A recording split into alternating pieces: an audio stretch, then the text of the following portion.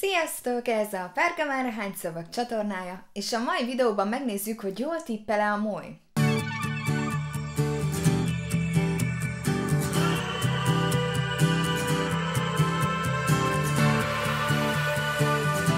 Nem tudom, hogy ismeritek-e azt a moly funkciót, hogy meg tudja tippelni neked, hogy mennyire fog tetszeni az adott könyv, mielőtt te értékelnéd, elolvasnád, és ez mindig nagyon izgalmas számomra, mióta felfedeztem ezt a funkciót, hogy egyrészt honnan jön ez a százalék, másrészt mennyire tippel jól a moly.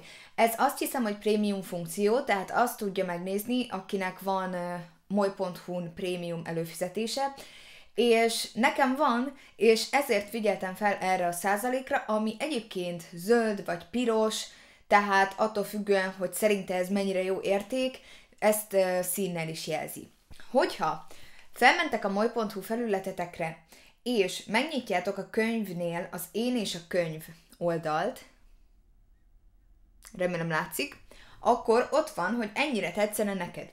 Én jelenleg a Jók és Rosszak iskoláját olvasom, és erre azt írja, hogy 91%, és ez már piros, tehát ez nem számít annyira jónak. Hogyha erre rákatintok, akkor az jön ki, hogy ennyire tetszene neked az előrejelzés, az alábbi értékelések és könyvtesói hasonlóságok alapján lett kiszámolva. Tehát bizonyos tagok értékelései alapján, jelenleg ők azok, akik alapján kiszámolja, és ott van, hogy mennyi a hasonlóság velük, és ez alapján hoz neked egy százalékot. És azt nem tudom, hogy ki mi alapján könyvtesó, de az ő értékeléseik alapján az jött ki, elég vegyesek az értékelések, de főleg jók, hogy 91%-ban fog nekem tetszeni. És azt gondoltam, hogy akkor most néhány, pontosabban 5 elolvasott könyvemnél felírtam, mielőtt eltűnt volna, hogy hány százalékra tippelte a moly, hogy fog tetszeni, és megnézzük, hogy jól tippelt-e. A legelső könyv az 2024 legelső olvasmánya volt az egyetlen szempillantás alatt, amitől bár tartottam, de éreztem, hogy ez nekem fog tetszeni, és hihetetlenül jó volt, öt csillagot kapott, nagyon jó helyen van a listámon az idei olvasásokból, és a moly azt tippelte, hogy száz százalék, hogy fog nekem tetszeni. Na azért ez elég merész állítás volt tőle, én amikor ezt megláttam, azt gondoltam, hogy hát, ebben nem vagyok biztos, de teljesen igaza volt. Szóval ennél a könyvnél nagyon jól tippelt a moly. A következő könyv, amit elolvastam, és megnéztem, hogy mennyire tippeli a moly, az az Észak és Dél, mert bár tudtam, hogy amit Andi ajánl, fog nekem tetszeni, azt gondoltam, hogy azért megnézem, hogy a moly mit gondol erről, és ő 88%-ot mondott, ami egy nagyon alacsony érték.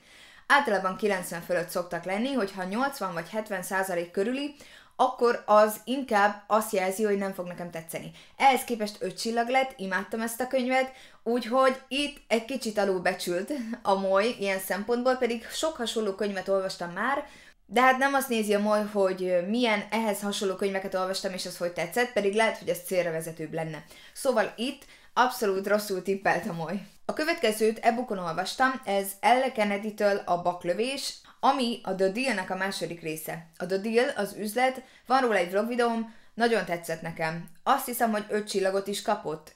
Teljesen elégedett voltam, és győzködtetek, hogy olvassam tovább a sorozatot, és elmondtam már egy előző videóban, hogy csalódtam ebben a második részben, bár igaz, hogy a harmadikat ajánljátok nagyon, azzal is meg fogok próbálkozni.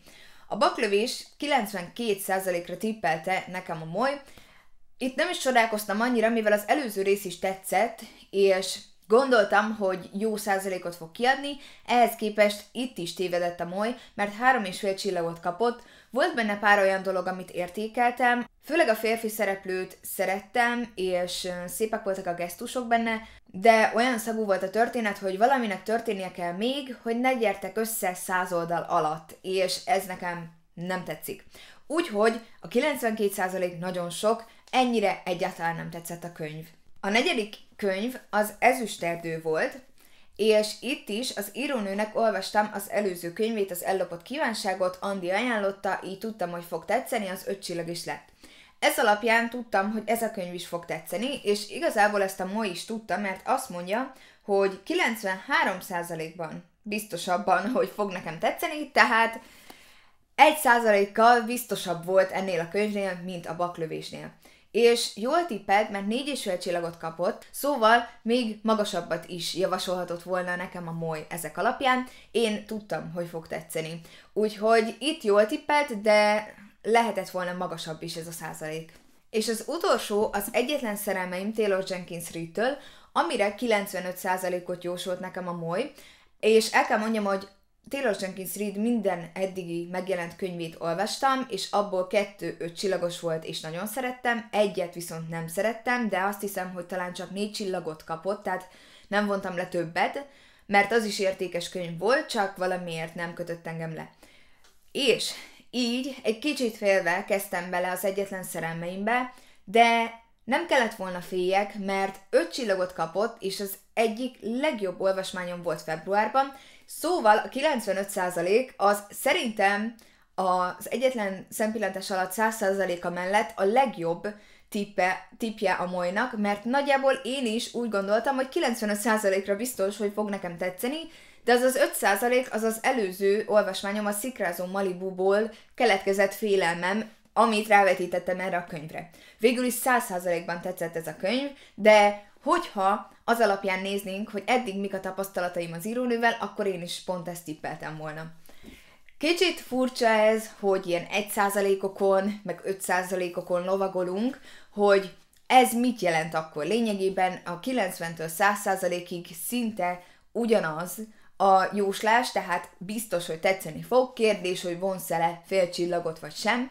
Azt szoktam még ezen kívül megnézni, hogy összességében akik olvasták már a könyvet, hány százalékra értékelték, itt ugye az összes moly, összes csillagozását nézzük, és azért ez nagyon sokszor becsapós tud lenni. Nem tudom, hogy mennyire volt érdekes számotokra ez a videó, hogy tudtátok hogy van-e ilyen funkció molyon, és hogy nektek mennyire jósol pontosan, Szerintem többnyire eltalálja, inkább eltalálja, mint nem. Köszönöm szépen, hogy megnéztétek ezt a videót, sziasztok!